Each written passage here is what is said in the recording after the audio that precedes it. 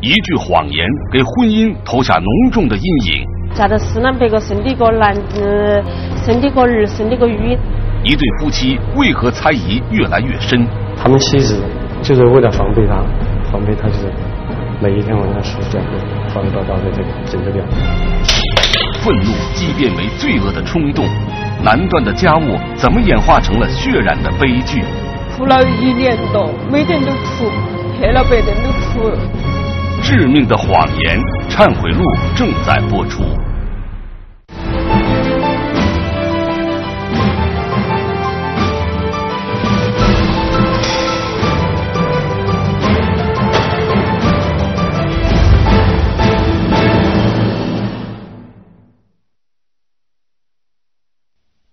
二零零七年五月五日晚上九点多钟，遵义市公安局北京路派出所的报警电话突然响起，一桩恶性刑事案件由此被揭开。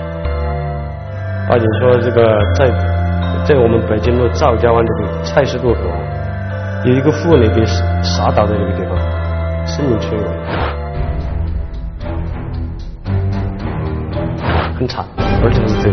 就是杀的当时的那那个地方，也是就是一条这个巷子吧，巷子就像一条沟一样，像狗一样，就是一个沟全部是全部是血，而且这个那个他这个颈子上面了，颈子上面还有一刀插在上面，看到的这个人生命非常危险。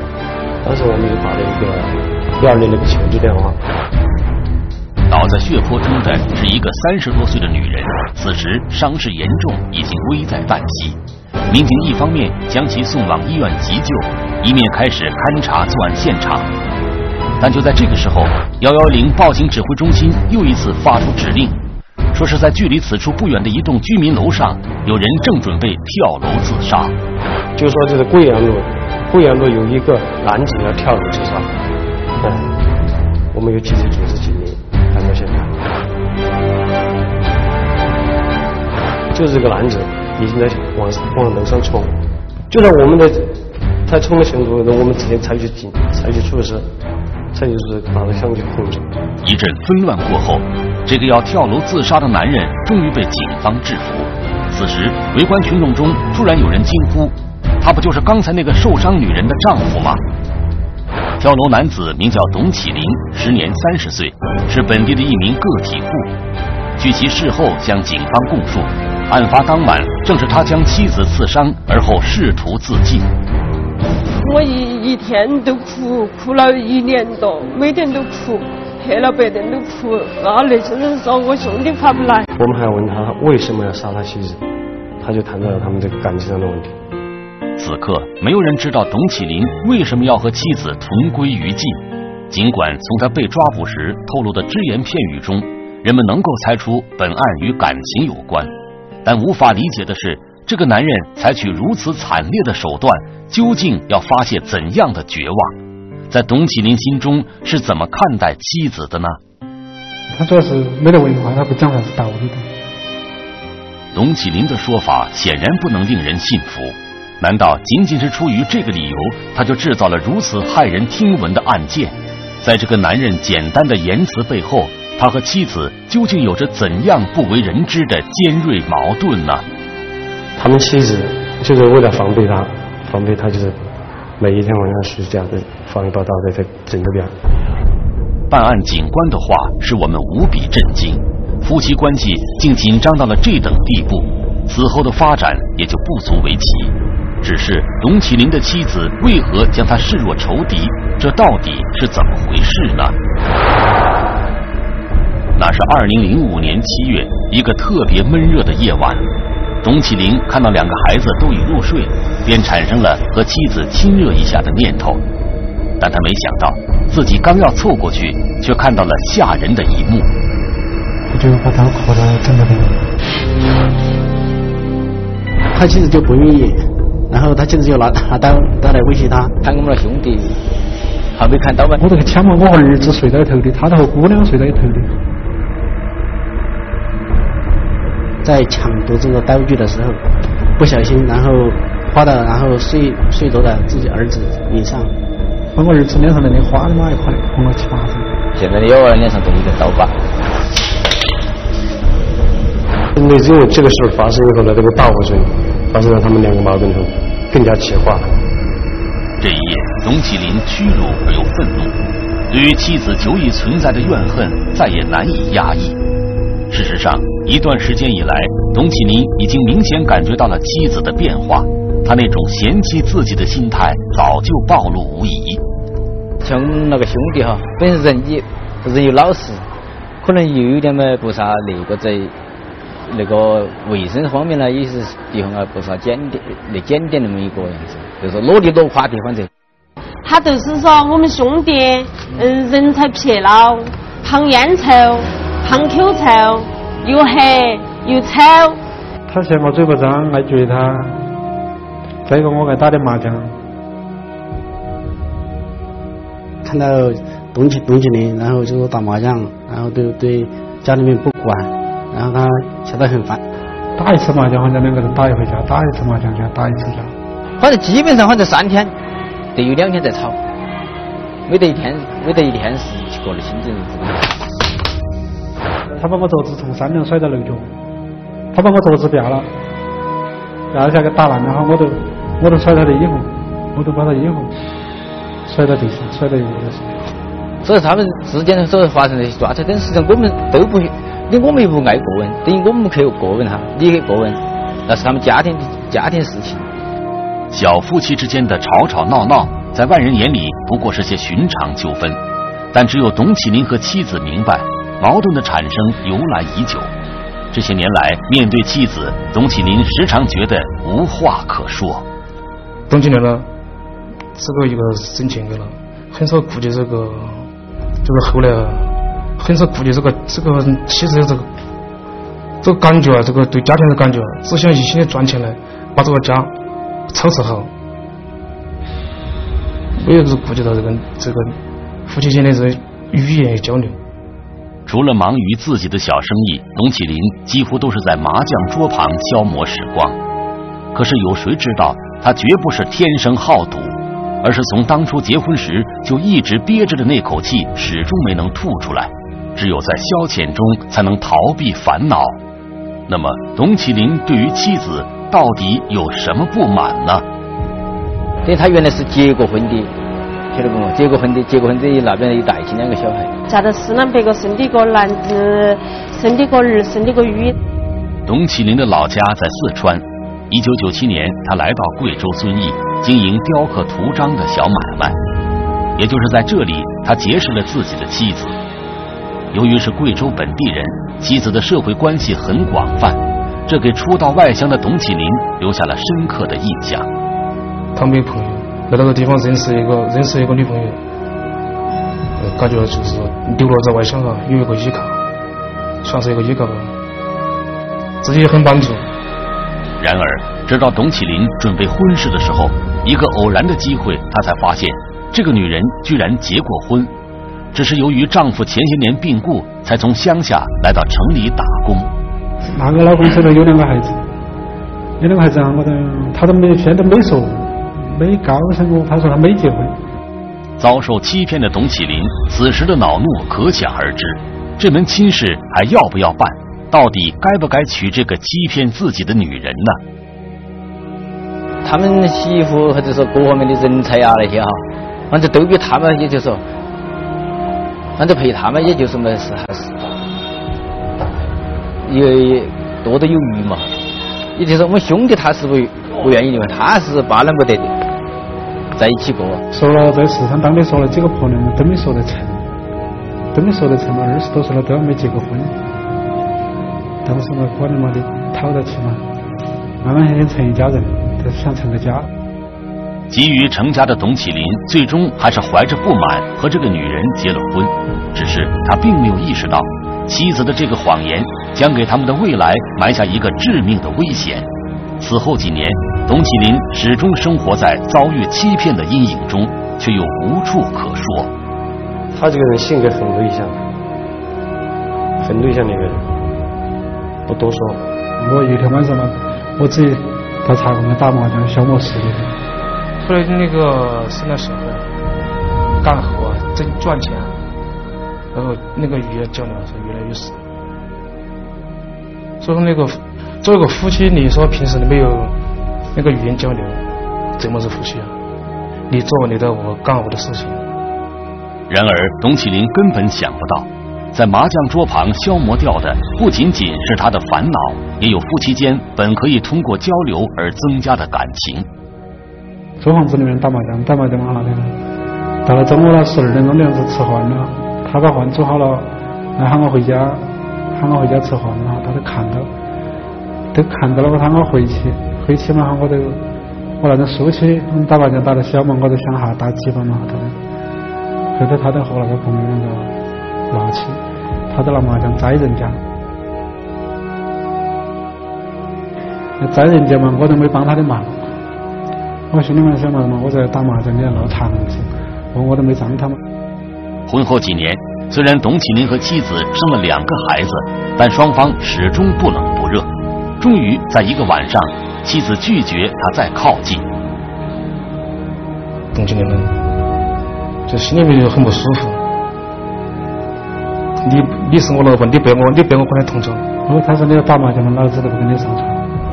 因为跟这个老婆吵架以后。找不到这个精神寄托，还是出去消遣。一个家庭夫妻间没有共同语言了，就这个家就是一个客栈。董启林弄不明白，妻子如此决绝，究竟是真的反对他外出消遣，还是仅仅以此为借口不想和他在一起呢？三番五次之后，董启林终于被激怒，不管不顾的发作起来，认为自己的妻子。就是说，反正你是我的妻子，那我和你发生的关系这是应应该的，没有什么含糊的。打了他两顿，下手很懂，打了他两顿。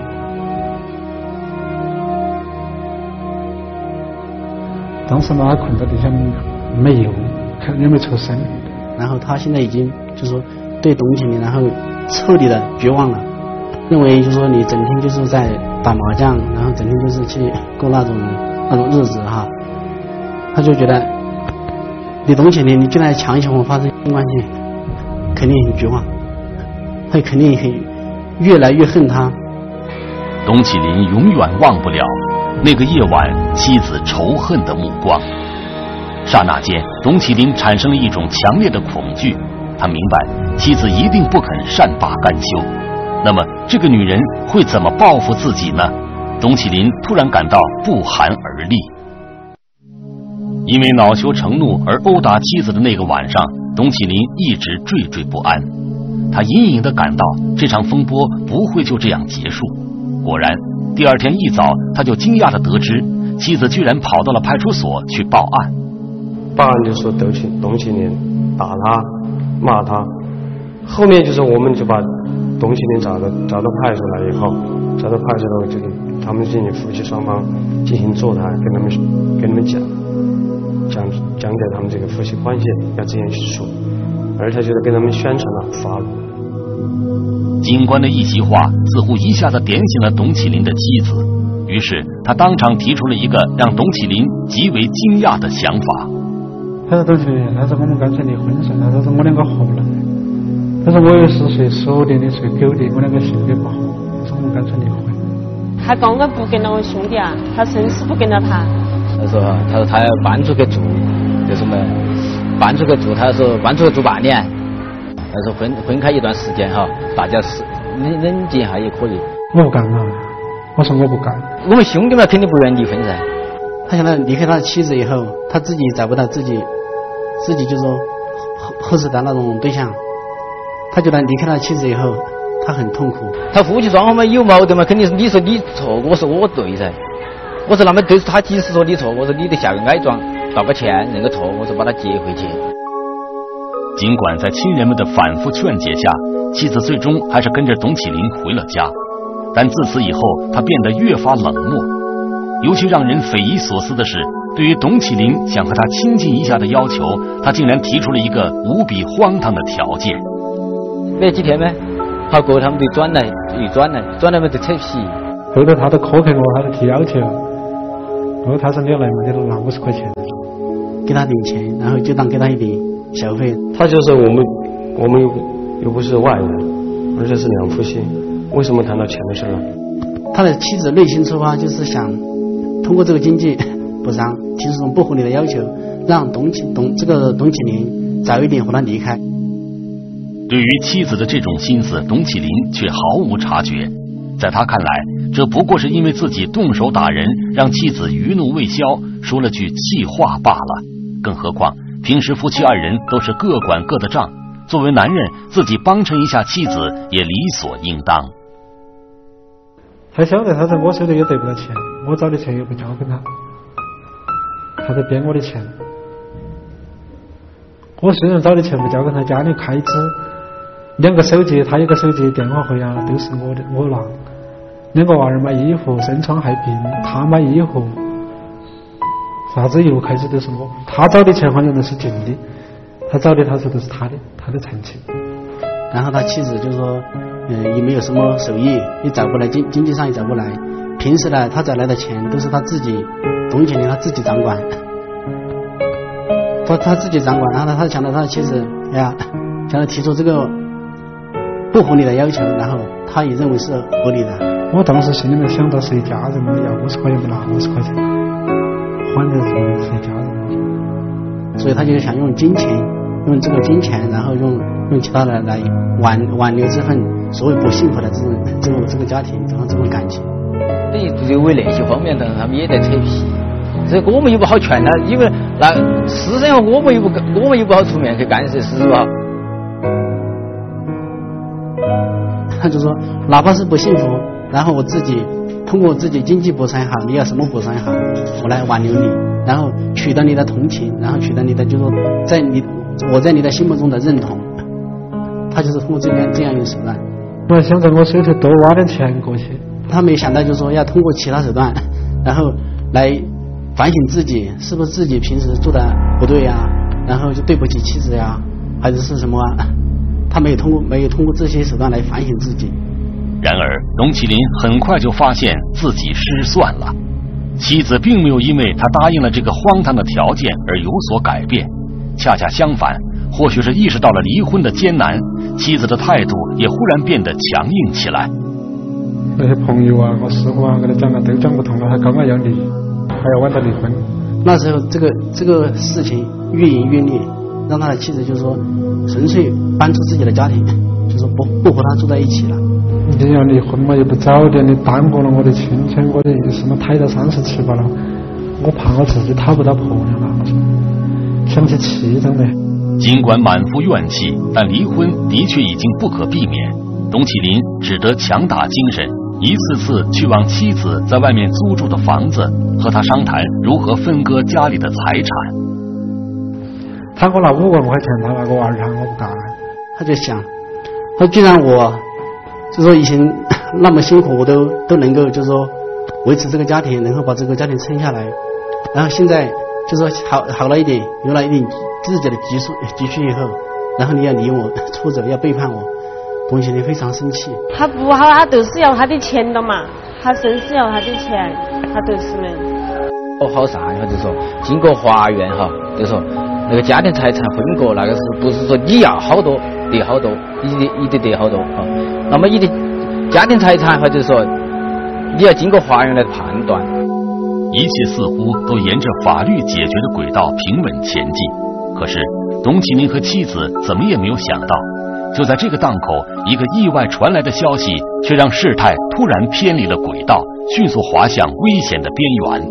这个消息是董启林的一个朋友告诉他的。我些朋友，客张的朋友，早上六点钟亲自看到他的，说是一个老公啊，比我人才要好些，要白些，要高些，背起个包包。他就说看到这个男子，好像和他们的妻子有什么关系。那些早六点钟左右嘛，闯到我婆娘在送那个老公，他喊他慢慢走，早点转来的时候，我朋友闯到的，我姐姐也看到的。你看到他经常买菜那些在一路，他说有说有笑的，他说很喜欢那种。那个男的说周丽红自己要去找他，他说我要去跟着他过，他讲我不跟他兄弟过。朋友的这个发现让董启林如梦初醒，一下子明白了妻子为何如此坚决的要求离婚？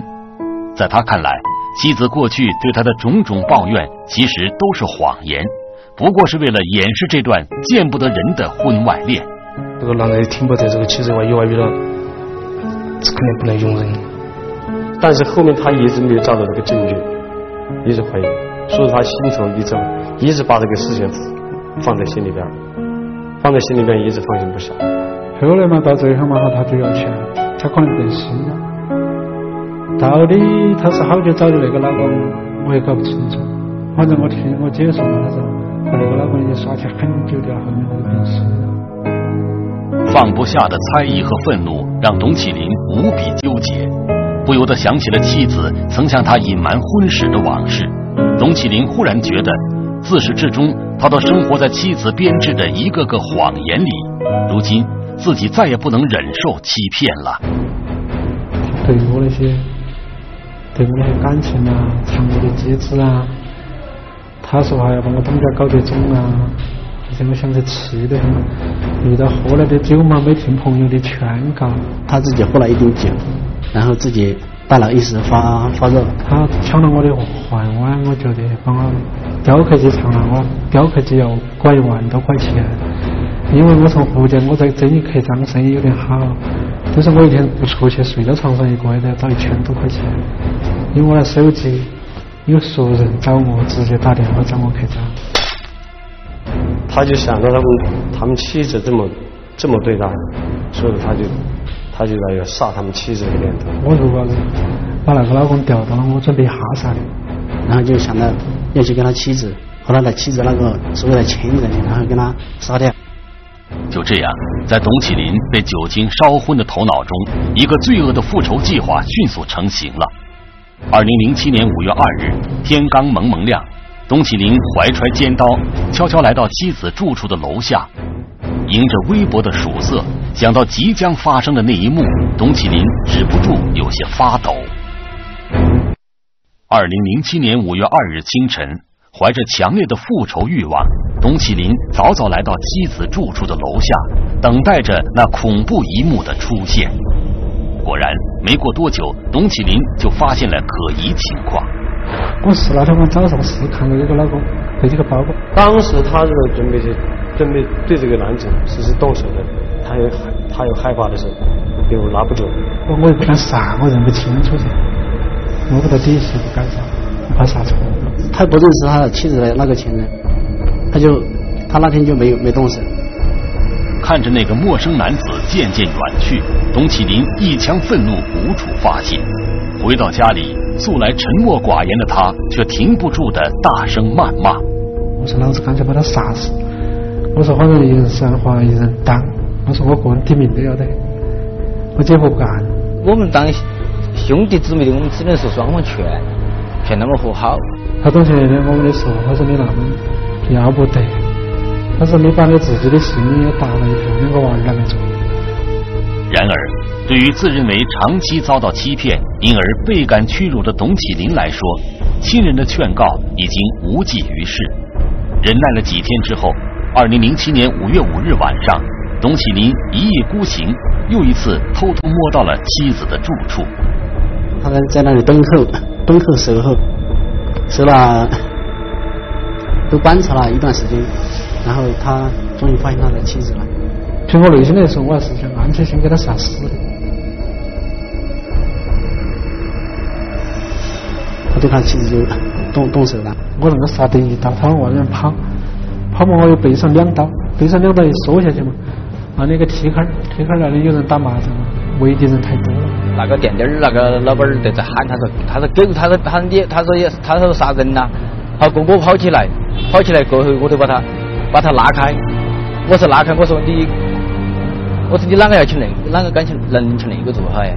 我姐夫，所以我姐夫也没得哪个敢来拉，所以我姐夫在说搞哪样搞哪样，我没伤他。我看他困到地下，我两个。手拿起匕首，往他颈子那么插下来。最后一刀的时候就是用力过猛，然后杀到里面去，刀都扯不出来了。看着妻子惨叫着倒地，董启林意识到一切都无可挽回。他发疯似的跑到楼顶，想要纵身一跃结束自己的生命。但由于被及时发现，最终还是落入法网。案发之后，龙启林的妻子在医院获救，而他本人则因犯故意杀人罪，被贵州省遵义市红花岗区人民法院判处有期徒刑七年，押入贵州省瓮安监狱服刑。通过观察和那个谈话的了解，他那个人属于一个比较那个不善于言辞。而且不是跟他们一起的罪犯交谈交流啊，反正就是看到一就是在监房里面一个人吃吃饭看电视都不与别人交流。从我们改造罪犯这么多年，我感觉那个人不善于言谈，不善于表达自己的内心世界。这个通过平常我们这个直接管理干警。和他的接触了解，和他做一些这个思想工作了解到，在这方面，他的思想压力还是很大。民警们发现了董启林的异常情绪，采取了包括个别谈话等多种方式，力图帮助这个性格内向的服刑人员摆脱消极厌世的不良心态。这样呢，按照我们现在这个在对罪犯开展这个教育改造工作这一块吧。呃，我们应该说从原来的那种啊比较大规模的、普遍的这种教育的模式当中，也在逐步的在增加一些、增强一些，就对罪犯个体的这种教育，针对他自己，就是每个罪犯有这些具体情况啊，采取就是一人一策、针对性比较强的这种教育。两年多的时间一晃而过，如今董启林已与妻子结束了婚姻。家中那两个同时失去父母的孩子，成了董启林唯一的牵挂。我想看他们一眼嘛，已经两年多没见了，毕竟两年多没见了，我看长起多高啊！想见他们一面。你两个什么时候会想起他？随时每天都在想，每天就就想两个孩子。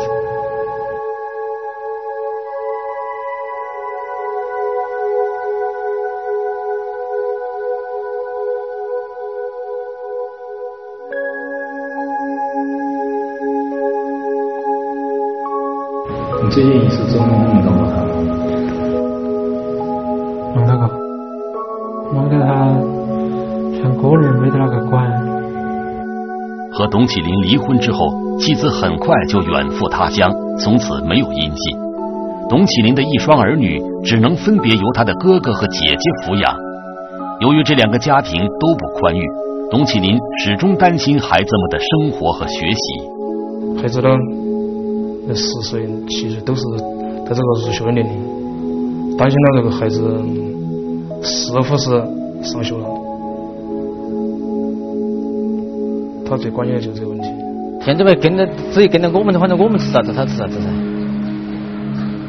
但是那个小娃娃也不听话呀，但他还是还是想他的爸爸。他就是像晚上睡错了，睡错了说梦话，他都喊喊他的爸爸呀。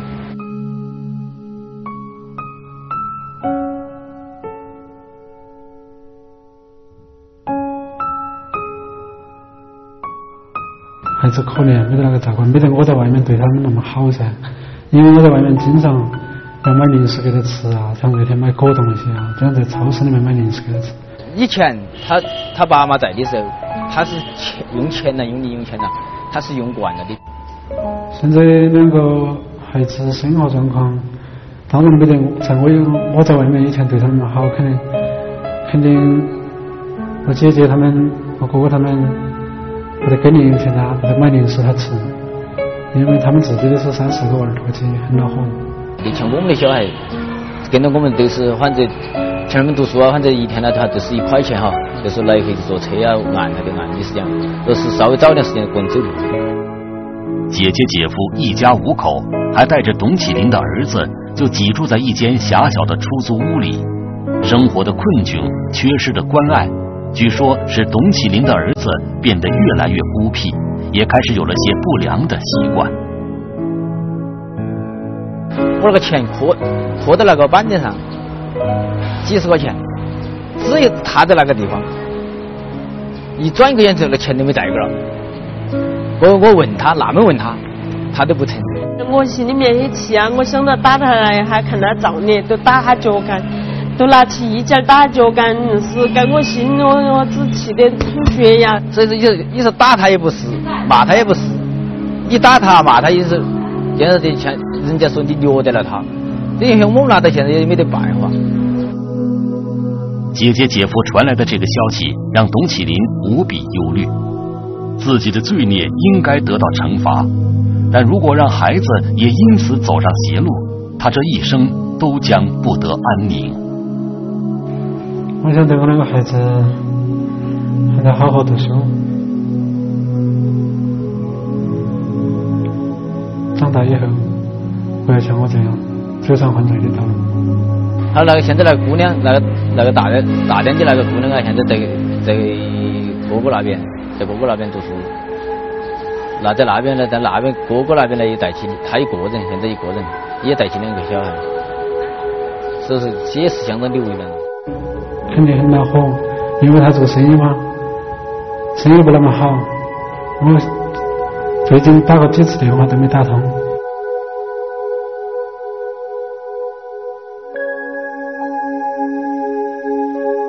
孩子现在这种情况。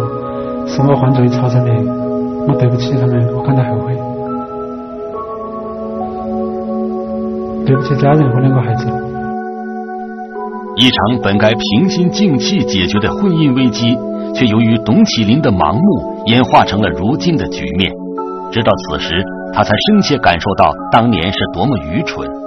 董启林急切的希望自己能早一点改造出狱，结束孩子们没有父母的生活。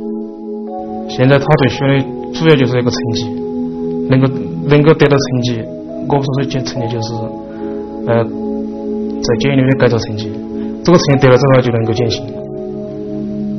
他希望每一年的这个周期能够有个好的成绩，嗯，到减刑的时候多减点刑。罪犯和亲属的这个关系毕竟是血浓于水，他再怎么样的，不管什么原因导致犯罪，但他和亲人的之间的这个关系。也是没有办法割裂开的。我们在这个方面的改造的话呢，也积累了一些经验。一个是的话呢，在一些措施上啊，啊，这个这个，一个是安排一些工作，让他们尽尽量的有这个这个积极改造，有一个表现的一个一个平台和或者说机会吧，让立功，既然受到表扬，然后提醒减刑假释啊这些提供条件。